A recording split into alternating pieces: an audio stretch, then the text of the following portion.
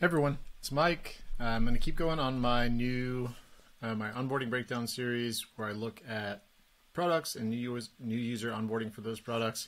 I kind of capture moments of delight or friction, um, talk through those as part of kind of how they were designed or or what the logic was, give that feedback to the teams who built them, and then also just make it available as a resource to product teams who are, are working on onboarding. Um, you get a lot of different references and ideas when you look across different types of products. So today we're going to look at Arc, which is a new browser that's come out from a company called the Browser Company. I've already got this installed. The window that pops up here is kind of a fixed size. They don't want to let me change the size of it that's okay. We're just going to go the, through the process and see um, what it's like. So I set up my account. 78% of people import from their existing browser or X browser too. Um, we can import from Chrome. It's got my different profiles. Let's just do let's just do my personal ones for now definitely use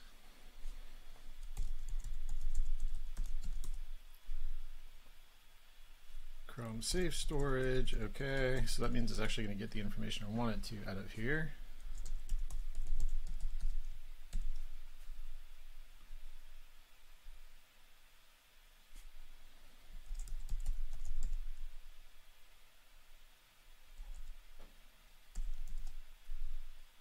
Hit always allow.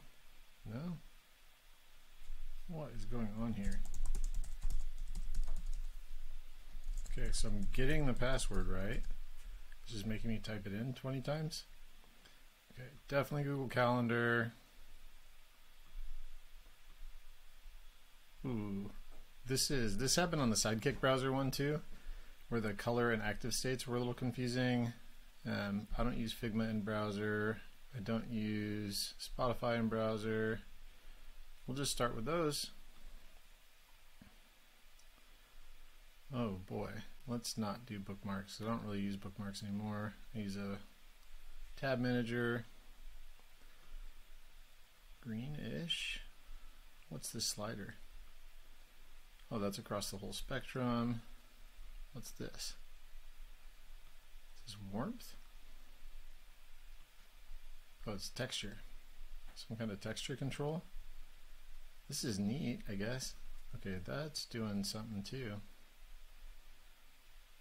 And then, I don't know what plus or minus. Oh, didn't mean to do that. Alright. Color. I don't know. I don't know if this is what I want overall, but we're going to go with it.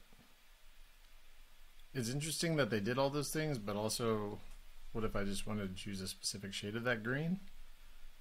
I'm not sure if I missed it. Oh, we can do multiple colors. Look at this. And it keeps them in relation to each other to keep a gradient that's usable. And how do I change this one? Uh, no. Why? This is a very confusing, like it's a very fun experience, I'll say. Maybe they're doing this for contrast purposes. But um, I'm going to allow ads because I work in the ad space. This is really nice micro copy. Uh, I get a kick out of that. Um, still exploring my options for now.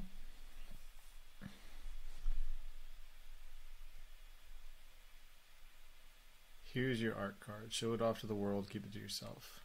You're now ready to experience your upgraded internet. So what can I do with this card?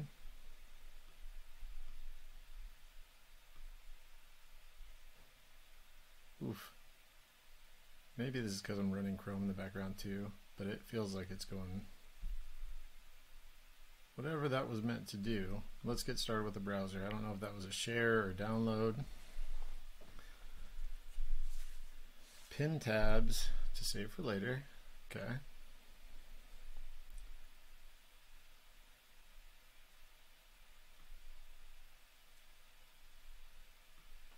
How do I pin them? my face in the way? No? Okay. I'll put my face over here maybe. Pin tabs to save for later. Click on it and move it into the browser. Okay, so I can do like a split screen browser type thing, which is actually super helpful. Okay, that's where I was on. I thought I was still on this pin tabs one. Which you can just move into folders up here. Because I have like Arc Basics folder. I could do other folders if I want, and more tabs if I want. So I have vertical tab browsing, which is kind of cool. Spaces. Space. Workspace. Oh, this thing again. Alright, let's just go with that this time. Create space. So is this now, so it has my apps. It's this one. So there's my original one. Okay, so these are spaces down here. And spaces, I believe, let me see here. So if I go to Gmail, okay, and it's going to remember which ones I'm logged into. Um, if I go to a different space and I go here, maybe I can switch to the one that I'm in.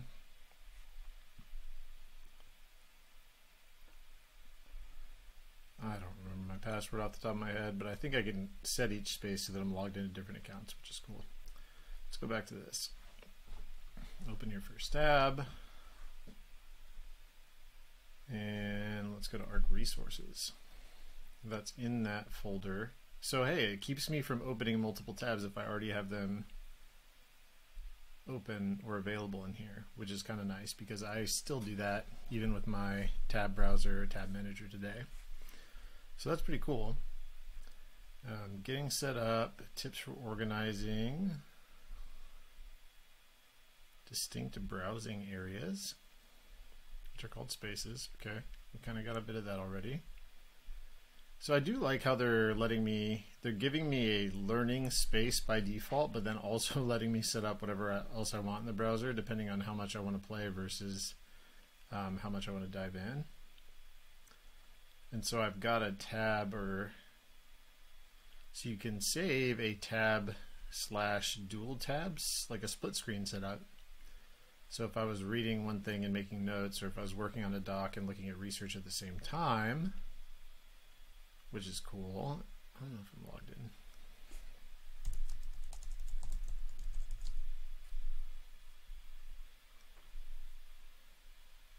Swift superpowers. Okay, follow. So it logged me into Twitter, which is cool. And then, except for it did let me open getting started down here, unless that's just the default tab. No, or it's maybe the one I chose. I don't remember. So let's go back to ARC resources. Then how would I go? Tips for organizing all collections. Let's say shortcuts and commands.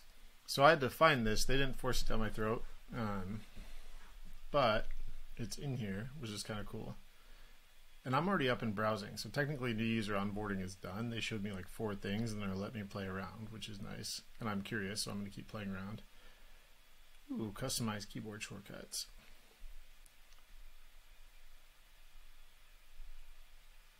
Customizing them, pin unpin, prefer websites. So I have a feeling there's a ton of features in here that I can dive into. Um, Let's see, there is one I wanted to show, if I can find it. Command bar. Ooh, okay. And this is definitely what I wanted. Command T to move even faster.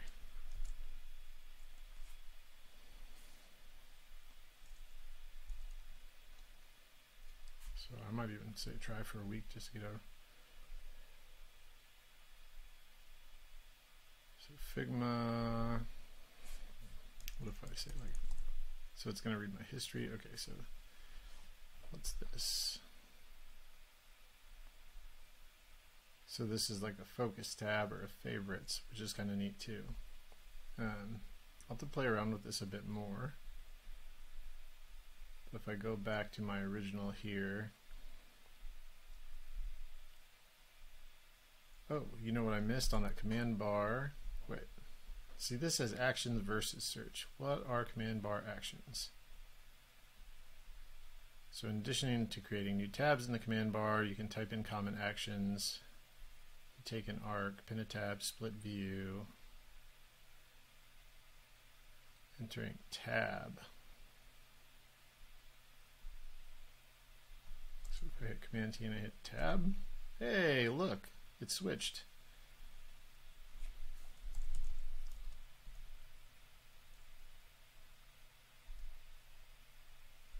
Interesting.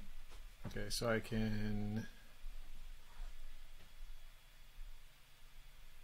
do some things in here. I thought I saw JavaScript console. That'd be neat for debugging. Look at that. That's kind of neat. Okay, so overall, and I guess I'd have to dig into more apps and things like that up here, but it's organized pretty nicely. Um, I would say the onboarding was easy and the browser does what a browser should, but it lets you kind of explore what all it can do. And there's probably a trade off there. It'd be nice if they showed some of those magic moments a little bit sooner, but overall, I was pretty happy with that experience. I'm going to start using this more and see what I think.